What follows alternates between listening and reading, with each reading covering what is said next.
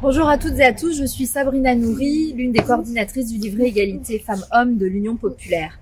Alors comme vous le savez, c'est la journée internationale du droit des femmes, le 8 mars, et en cette occasion, je voulais vous faire part d'une mesure phare du programme de Jean-Luc Mélenchon. Cette mesure consiste à poser un milliard d'euros sur la table afin de combattre et lutter drastiquement contre les féminicides, que ce soit en matière de prévention, que ce soit en matière de formation, d'hébergement d'urgence ou d'aide aux associations. Nous avons besoin de mettre les moyens et l'humain pour combattre efficacement euh, les violences faites aux femmes. Alors, euh, je vous donne le rendez-vous le 10 avril pour voter pour Jean-Luc Mélenchon.